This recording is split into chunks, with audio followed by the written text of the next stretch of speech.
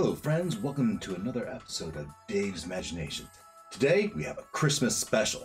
Last night, I hosted a surprise birthday party for a friend, and at that party, my friend Jamie ran a holiday themed murder mystery, Home for the Holidays. We purchased it off Etsy. Uh, we went live on YouTube last night as we played through that game. But today's video, today's video is if you're contemplating purchasing this murder mystery, this Home for the Holidays murder mystery, this video is for you. As in a few moments, I will be going through what you get and reflecting my entire experience. Stay tuned.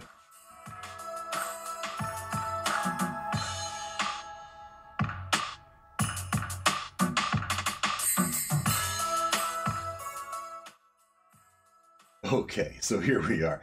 So, like I said, we purchased this Home for the Holidays murder mystery off of Etsy. And right here I am, right here I am on the Etsy webpage on Murders Incorporated uh, Etsy shop. Why the gal Chelsea, Chelsea puts out a whole bunch of these different murder mysteries. Uh, now, to be full, full uh, disclosure here, I am not being paid for this review. I just interested. We played it last night, and I thought I'd give my thoughts. I enjoyed it quite a bit. So spoilers right there. I enjoyed playing this murder mystery quite a bit, and uh, it's probably I've played a few of them, and this one might be my favorite ones I've ever. So I thought I would uh, put out a review on my YouTube channel to to tell me what tell everyone what I thought of this Home for the Holidays, and I just read through their webpage here, their their Etsy uh, shop. So it says up here in the right hand corner, we see PG Home for the Holidays, 10 to 30 characters, and the PDF version. PDF version is what we got for $32. It's just under $32. And I worth every penny. Worth every penny. Now we got we got just that. It is PG, and we'll mention that again later. And we played with 11 players, I believe. And the PDF version was fine. Uh, our host, I have to say, I didn't purchase it. My friend Jamie purchased it and she cut it up and she got all organized. She did a fantastic job organizing and putting it on. Uh, we all had a lot of fun. We can go down here. I was going to read through the descriptions and give you give my thoughts of these. So just read through description: one killer, three murder victims. Do you and your guests have what it takes to piece it all together? This holiday special murder mystery party, when the Carroll family gathers to celebrate celebrate the holiday season, what could possibly go wrong? With angsty teenage daughters, a pun loving dad, a rebellious boyfriend, and overbearing in laws, and giving you and your guests a fantastic and unique holiday party to die for. And I gotta say, that was all true. That was all true. Uh, I was, I suppose, I was one of the overbearing in laws. I was Marcus Carroll. My wife was Lydia Carroll, and uh, we were the overbearing in laws and, and we had a lot of fun doing that. Uh, here, reading on, it is also available in a full box kit in which everything is printed out and props are included for your convenience. Uh, we did not do that. Uh, this party is for a minimum of 10 and a maximum of 30 players. Uh, and I have to say, we played with 11 and it worked just fine. Uh, characters have fun individual roles to play and seeks to share, but none are essential to the game. Fair enough. Once you have purchased this party, you'll be able to download the PDFs directly to your computer, which Jamie did. And uh, so you had this Home for the Holidays full story, and then Home for the Holidays character cards. Extras package includes certificates with winners and voting cards PDF. And we had we had all that. She she had printed out the character cards, and I was handed a character card for my character. It gave me a little description and what I know at the top, and then some some secrets that my character would have was toward the bottom. So that was good. And I think they they have. So there's the home for the holiday. That's the cover. And then there's kind of a picture of all the stuff you do, you can get or download from their PDFs. And keep going here. Although we should make this bigger. Here we have their pictures, and we're just gonna thumb through these real quick.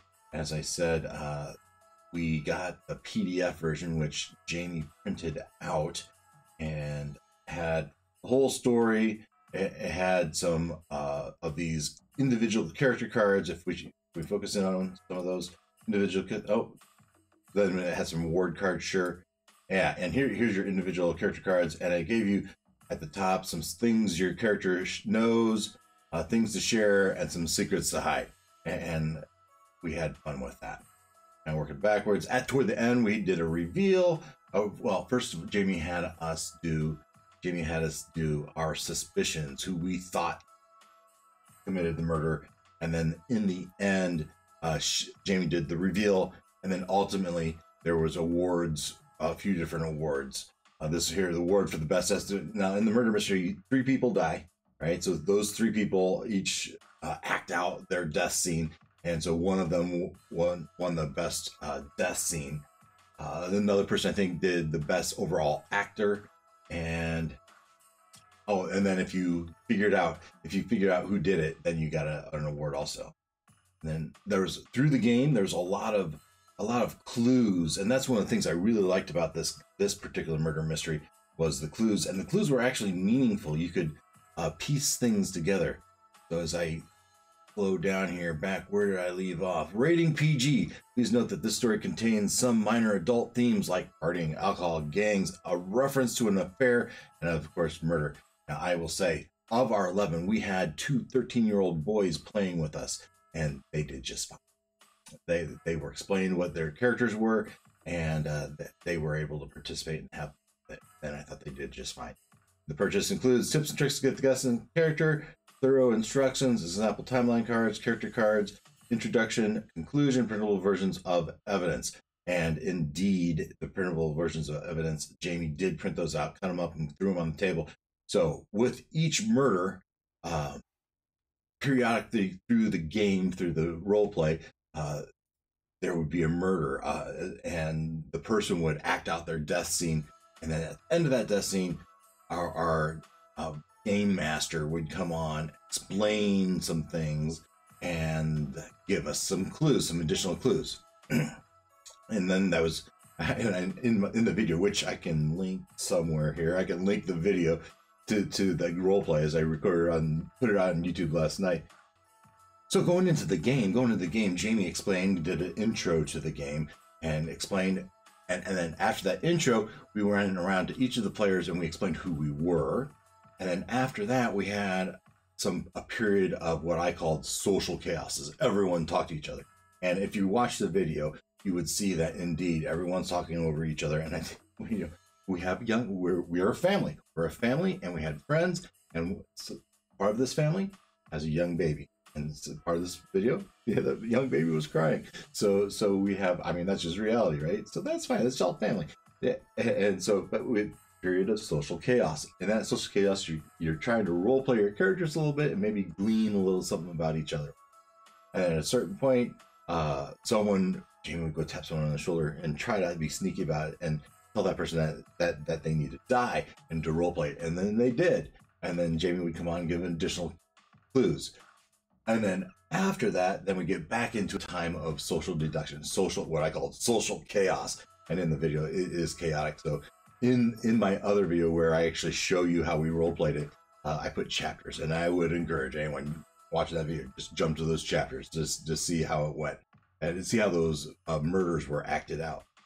And then that happened three times, three murders. And then after the third murder, you had another period of social chaos. And then Jamie came on to say, ask people who they thought did it, and you then give the reveal of how we could have figured out who did it and who give awards out for the three people the the, the best portrayal of a, a death the best overall actor and the person who figured it out and we did actually have one person who figured out i'm not sure she figured knew why she figured it out but she figured it out so then let's go back into just my mystery, my Chelsea's murder mysteries are all handwritten by me, by Chelsea. So you'll have a truly unique experience. If you shop any, if you have any questions, feel free to check out her shop FAQs or message her. Huh? We didn't have to do that. And so then she gives a sample of of her intro, and I can say that this is pretty representative of what it actually was. So overall, as you look at the, as you look through all of the reviews, if you look through all the reviews, you can see most of them are very, very good. And when I had one, I would say the same thing. So I wanted to mention why I really like this game.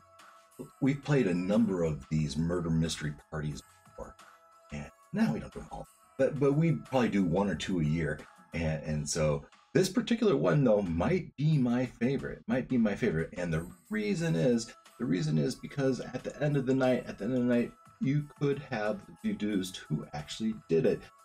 As Jamie went through the the reasoning, she pointed out all the clues and, and went through. Well, you might have thought it was this person, but here's why yes and why no, and, and ultimately why it wasn't that person. And then got to the point where she said, if you would have noticed this, you might have noticed that, and you might have noticed this, and you could have pieced together who actually did it. And I tell you, many times when you're playing these games, the who done it is completely random. And there's reason to do that, right? So so that the host doesn't even know who did it, and, and they figure it out. But often when they do that, it's completely random, and you feel like, you know what? I feel dumb for not knowing who did, but why feel dumb because it was ultimately random. And why did you do it? You had, we had fun. You know, often in those cases, you have fun role playing and and spending your hour or whatever it is doing it and uh, having a lot of fun. And oh, by the way, th- this whole thing from start to end, hour and a half, really role play part, probably an hour from the intro to the point where we were done was probably hour. Spent a little time settling up, uh, getting our name tags, handing out our character. All that was probably an hour and a half, but the actual role play was probably an hour. And so that was nice. We didn't take all night. Good. It was very good. I appreciated it. And and like I said, through the hints, we might have been able to figure it out. I didn't. I guessed wrong, but there was one person that did guess right. So good good job to that person. However, I will say, I don't think she knew why she guessed the right. She just guessed the right person and happened to be right. So she won the award. So we had a good time. All in all, the, the product was high quality. Everything in it was very good. And uh, I would highly recommend the purchase to anyone. I think you'll enjoy it as much as we did. So, that was it. That's it for my video. I am Dave for Dave's Imaginations. And until next time, take care. Bye.